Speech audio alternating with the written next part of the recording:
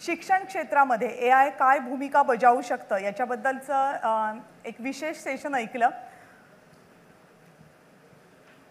पण आर्टिफिशियल इंटेलिजन्सचा ग्रामीण आणि शहरी भागावर कसा परिणाम होऊ शकतो? शिक्षणाचा विचार करता. त्याचे पॉझिटिव्ह इफेक्ट्स काय असू शकतात? त्याचे निगेटिव्ह इफेक्ट्स काय असू शकतात? या संदर्भातलं एक इंटरेस्टिंग प्रेझेंटेशन आत्ता आपल्यासोबत सादर होणार आहे.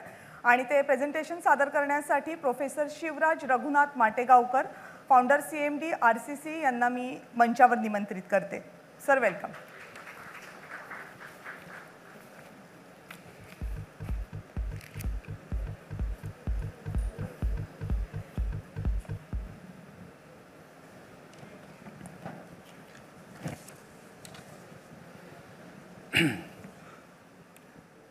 माझा महाराष्ट्र डिजिटल महाराष्ट्र. सर्वप्रथम सर्व ए बी पी टीमचं मी एक महाराष्ट्रवासी म्हणून खूप खूप अभिनंदन करतो आभार मानतो की येणाऱ्या वाऱ्याची दिशा ज्याला ओळखता येते तो स्पर्धेत टिकून राहतो. ते ए बी पी माझं ओळखलं की आता येणारं युग आपल्या दस्त घेऊन ए आय आपल्या दारात थांबलेलं आहे. याला आपल्या महाराष्ट्रवासियांनी कसं याला फेस केलं पाहिजे? याचं काय उत्तर असायला पाहिजे? हे कसं सगळ्या महाराष्ट्रवासियांना कसं हे अंगीकारलं पाहिजे याचं एक चांगलं त्यांनी एक चर्चास्तर दिलं. त्याबद्दल मी पूर्ण टीमचं खूप खूप आभारी आहे. आत्ताच मान्यवरांनी खूप चांगले चांगले विचार मांडले. आणि ते चांगले चांगले विचार आम्ही ऐकत आहोत. सकाळपासून सेशन चालू आहे. या ए आय आता आपण ए आयला टाळू शकत नाही. जसं आपण करोनाला टाळू शकलो नाहीत. करोनापूर्वीचा भारत करोनापूर्वीचा महाराष्ट्र आणि करोना नंतरचा महाराष्ट्र. याच्यात खूप जमीन आसमानचा फरक आहे मला तर असं आहे कारण डिजिटलमध्ये एवढी क्रांती झाली की आपल्या कुणाला असं वाटलंच नव्हतं की आपण घराच्या बाहेर कधी पडणार नाहीत. आणि घरामध्ये बसून आपल्याला एक चांगलं एज्युकेशन चांगलं एज्युकेशन दर्जेदार एज्युकेशन घेता येईल. कारण आम्ही प्रॅक्टिकल ग्राउंड लेवलला काम करतो. आठ आठ नऊ नऊ तास शिकवतो. त्यामुळे पहिल्यांदा नवीन तर आम्ही पूर्ण घाबरून गेलो होतो. आता पुढे काय होणार? पुढे काय होणार? सुरुवातीला ज्यावेळेस करोनाचं पहिलं लॉकडाऊन सुरू झालं होतं. त्या क्रांतीमधून आज दोन वर्षानंतर दोन तीन वर्षानंतर जे आपण पाहतो ती खूप मोठी क्रांती आहे. R C C Renukai chemistry classes R C C pattern या नावानं मी लातूरमध्ये मागच्या बावीस वर्षापासून शिकत आहे शिकवत आहे. जवळपास दरवर्षी दीड हजार विद्यार्थी आम्ही एम बी बी एसला दरवर्षी लातूरमधनं आम्ही एम बी बी एसला पाठवत असं लातूर नांदेड या ठिकाणावरनं. आणि एक एक पा- पाहतोय की एक आर सी सीमध्ये आम्ही गरीब विद्यार्थ्यांना जवळपास आम्ही दोन हजार विद्यार्थ्यांना स्कॉलरशिप देतो दरवर्षी. जवळपास कित्येक गरीब विद्यार्थ्यांना फ्री शिकवायचा शिकवत असतो आम्ही फीस भरतो. परंतु हे हे हे जे आता ए आय आपल्या दारावर आलं हे खूप मोठं संकट आहे असं मला वाटते कारण जर आपण याला नाही आपण व्यवस्थित चांगल्या प्रकारे फेस केलं तर कोरोनासारखी आपली अवस्था झाल्याशिवाय राहणार नाही. एक मला वाटते भारताचे दोन भाग दिसायला लागतील आपल्याला. कारण ग्रामीण भारत आणि शहरी भारत. जवळपास आज बी आपण पाहतो सिक्स्टी पर्सेंट पॉप्युलेशन हे खेड्यामध्ये आहे. आणि फोर्टी पर्सेंट पॉप्युलेशन हे मेट्रोपॉलिटन सिटीमध्ये किंवा डिस्ट्रिक्ट प्लेसवर आहे. याचा जर आपण बारकाईनं अभ्यास केला परंतु एटी पर्सेंट जे स्कूल्स आहेत ते शहरी भागात आहेत. आणि ट्वेंटी पर्सेंट स्कूल फक्त ग्रामीण भागात आहेत. जर समजा ए आयला जर आपण व्यवस्थित चांगलं त्याला आपण टॅकल नाही केलं आपण व्यवस्थित हँडल नाही केलं तर मला वाटतं खूप मोठी एक दरी तयार होईल. आणि ही दरी म्हणजे म्हणजे दोन भारत झाल्यासारखी दरी तयार होईल. जर आपण याला व्यवस्थित जर चांगल्या प्रकारे हँडल नाही केलं तर. कारण वि- म्हणजे जे ग्रामीण भागातली मुलं आहेत ज्या ग्रामीण भागातल्या मुलांना अडचणी आहेत त्या खूप म्हणजे असंख्य अडचणी आहेत. ज्यावेळेस पहिल्यांदा आम्ही शिकवत होतो आम्ही पहिल्यांदा ऑनलाईन शिकवायचो त्यावेळेस बफरिंग व्हायचं मग पुन्हा व्हिडिओ रेकॉर्डिंग करून आम्ही विद्यार्थ्यांना पाठवायचो ग्राउंड लेवलला काम करत असल्यामुळं. आणि नीट आणि जेई सारख्या विद्यार्थी तयारी करून घेत असल्यामुळे कारण कॉम्प्युटर एक्झाम आहे. कुठल्याही कॉम्प्युटर एक्झामला म्हणजे एक्झॉस्ट भयानक अभ्यास म्हणजे कॉम्प्युटर एक्झाम हे साधं डेफिनेशन आपल्या इंडियामध्ये आहे.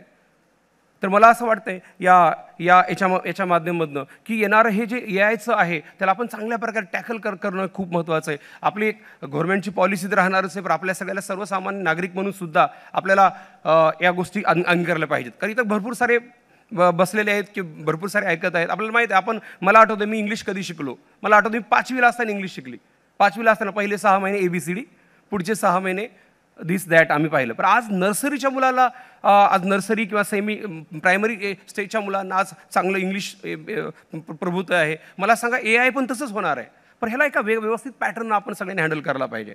डायरेक्ट जसं आपण पहिल्यांदा डिजिटल जेव्हा ऑनलाईन मोड झाला की पालकांनी डायरेक्ट मुलाच्या हातात मोबाईल थोपवला. ज्याची परिस्थिती नाही त्यांना त्याला खूप साऱ्या अडचणी आल्या. पण ज्यांना मोबाईल मिळाल दिला. पण ते मुलं वेगळ्याच दिशे दिशेकडे चालले. तर मला असं वाटतंय की या ए आयला जर आपल्याला चांगल्या प्रकारे जर हँडल करायचं असेल तर आता जे प्रायमरी एज्युकेशन आहे म्हणजे जे ग्राउंड लेवलचं एज्युकेशन आहे जे जिथं विद्यार्थी घडतात फर्स्ट स्टँडर्ड असेल फोर्थ स्टँडर्ड आता गव्हर्नमेंटची नवीन एज्युकेशन पॉलिसी पण त्याच धर्तीवर आहे. तर सिक्स आवर जे कोचिंग असायला पाहिजे सिक्स आवर ऑफलाईन असायला पाहिजे टू आवर हे त्याला डिजिटल माध्यमातून त्याला ग्र म्हणजे प्रायमरी एज्युकेशनपासून जर दिलं तर तो विद्यार्थीला टाळणार नाही. जर डायरेक्ट तो विद्यार्थी बारावीला आला किंवा जर डायरेक्ट जर तो नीटच्या पुढच्या मुलांना जर आपण डायरेक्ट हे जर डिजिटल प्लॅटफॉर्म अवेलेबल करून दिला तर तो विद्यार्थी बिघडल्याशिवाय राहणार नाही. ही खूप मोठी शोकांतिक आहे. नंतर मला तर असं वाटतं आता खूप चांगली मान्यवर बोलले. ए आय ए आयचा सगळ्यात मोठा कारण ए आयमध्ये जर समजा डिजिटल याचं एवढी मोठी क्रांती झाली तर इथं इथं आता जेवढ्या ज्ञानदा मॅडम आदरणीय मी कौशिक मॅ मॅडमला तर लहानपणापासून पाहतोय की त्या किती पोट तिडकणं पावसात थांबून उन्हात थांबून थांब नागपूरमधून ते आपल्याला बोलायच्या सगळ्या महाराष्ट्राला दाखवायच्या. हे हे कधी समजेल राजकारण्याला? कधी ह्या अडचणी दूर केल्या जातील? मला वाटते ते फिलिंग कुणीच देऊ शकणार नाही. हे ते फिलिंग किती जरी मोठं डिजिटल आपण प्लॅटफॉर्म अवेलेबल केला तर त्याचे एक्सप्रेशन्स आहेत ते भावना आहेत त्या फक्त याच ओतू शकतात मला असं वाटतंय. ते ते भावना फक्त टीचरच ओतू शकतो. टीचरला अल्टरनेटिव्ह निघू शकत नाही. माझं स्पष्ट मत आहे. का बरं? कारण आपण पाहतो ना एक आप हजारो करोडची कंपनी आपण नाव घेणार नाही कोणत्या कंपनीचं जी कंपनीचे मोठे मोठे हिरोज म्हणजे जे ॲक्टर्स त्याची जाहिरात करायची क्यों जाना है स्कूल आप घर पे पढ़ाई कर सकते हो। क्यों जाना है कोचिंग क्यों आप घर पे पढ़ाई कर सकते हो? आप घर पे नॉलेज ले सकते हो। आज त्यांनाही कळून चुकलं की आपण विद्यार्थ्या हृदया आपण ते कोरोनामध्ये आपण ते आपण आपलं आपली व्यवस्थित राबवू शकलो पॅटर्न परंतु ज्यावेळेस ज्यावेळेस करोना संकट निघालं त्यावेळेस आपण विद्यार्थ्या हृदयामध्ये आपण स्थान करू शकत नाही. आज ती कंपनी सुद्धा आज गल्ली बोळाने आपली कोचिंग सेंटर उभा करत आहे. हे म्हणजे विद्यार्थ वास्तव जे मोठे मोठे ॲक्टर्स त्याची जाहिरात करायची नाही जाना आहे वहाँ क्यों जाना है आपका टाइमपास हो जाएगा. तर मला असं वाटतं हे एक दस्तकच आहे. परंतु या डिजिटल याचे याचे याचे फायदे काय होतील तोटे काय होतील मला सगळ्यात याचा मोठा जर डिसएडव्हान्टेज म्हणजे मी मी एका ग्रामीण भागातून आहे.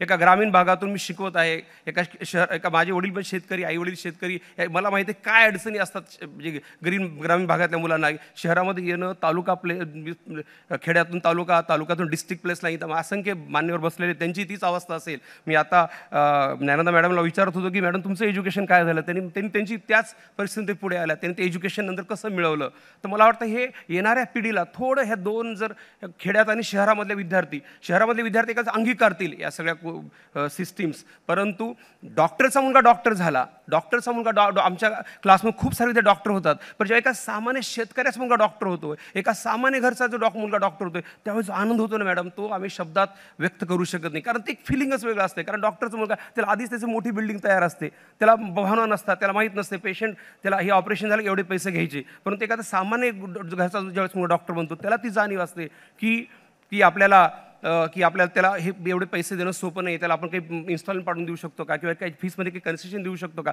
ही भावना फक्त आणि फक्त तो डॉक्टर जो सामान्य घर चालला तेच ओळखू शकतो. ह्या ए आयच्या क्रांतीमुळं ह्या सगळे दारं बंद होण्याचे माध्यम आहे. कारण ते मशीन आहे.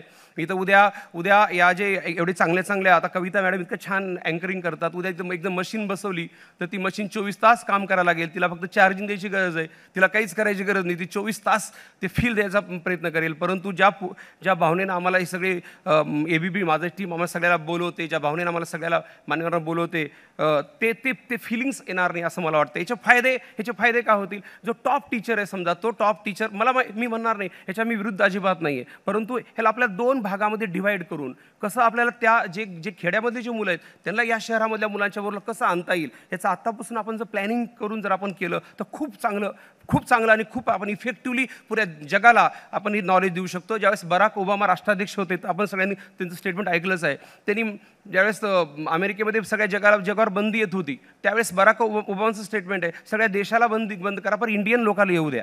कारण इंडियन एज्युकेशन पॉलिसी खूप स्ट्रॉंग आहे. इथं विद्यार्थी अभ्यास करून एक्झाम देतात. वि- इथं विद्यार्थी न बघता एक्झाम देतात. नाहीतर फॉरेन्स कंट्रीमध्ये एक्झाम कशा आहेत? जनरली ओपन बुक एक्झाम्स आहेत. इथं ती एक्झाम आपल्या आपल्याकडे विद्यार्थी अभ्यास करून समजून घेऊन हे करून एक्झाम देत असतात. तर मला असं वाटतंय की याच्यामध्ये चांगले चांगले टीचर्स आपल्याला अवेलेबल करून देतील. आता मी बघतो नीट आणि जेईमध्ये नॅशनल लेवलचे जे टीचर्स खूप चांगलं काम करतात त्यांचे व्हिडिओ विद्यार्थ्याला पाहायला मिळतात.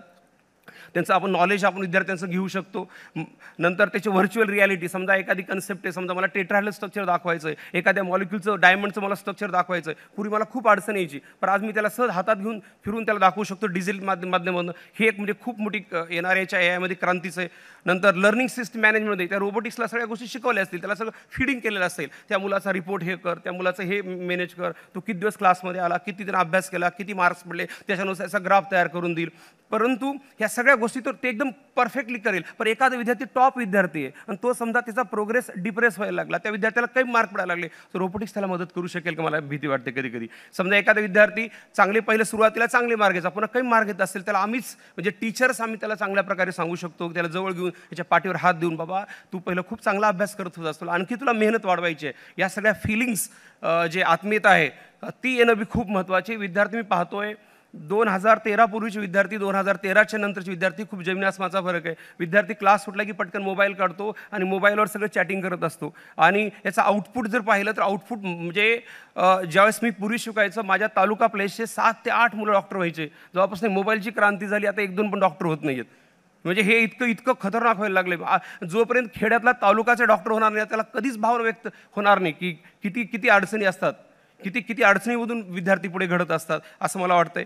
नंतर याचा आपण चॅलेंज म्हणून पण आपण स्वीकारलं पाहिजे. याचे याच्या सगळ्यात मोठा जर ड्रॉबॅक असेल तर मी आत्ता म्हणलं असं डिजिटल लिटरसी खूप वाढेल.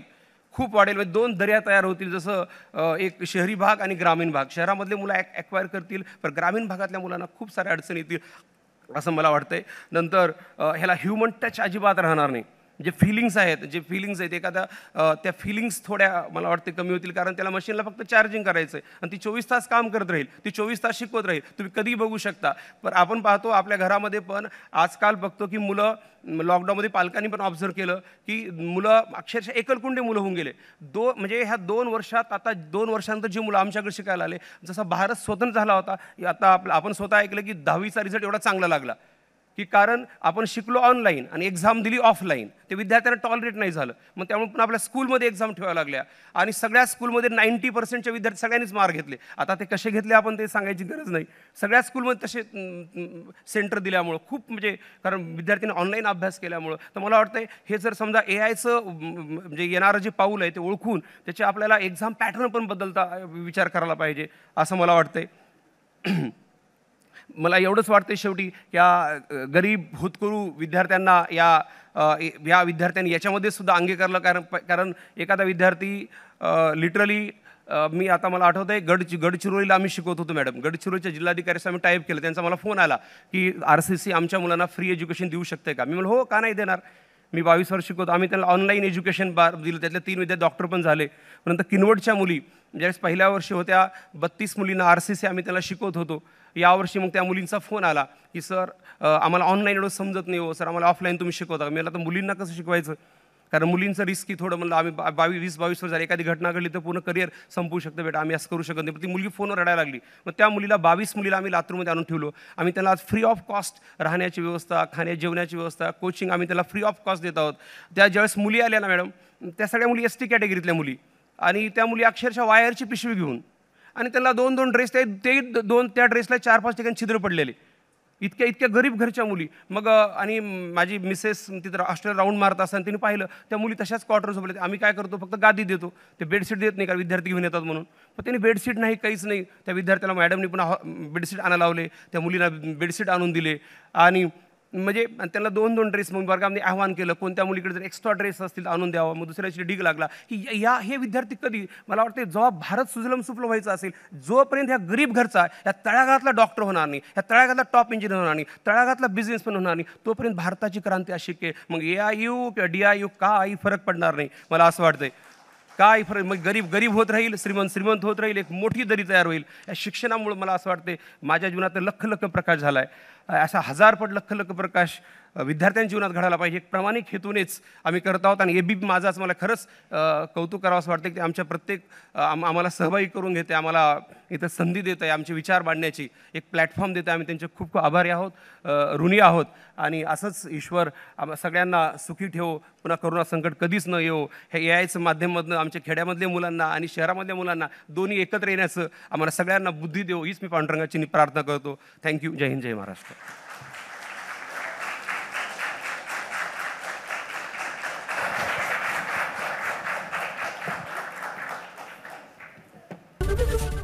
एबीपी माझा. उघडा डोळे बघा नीट.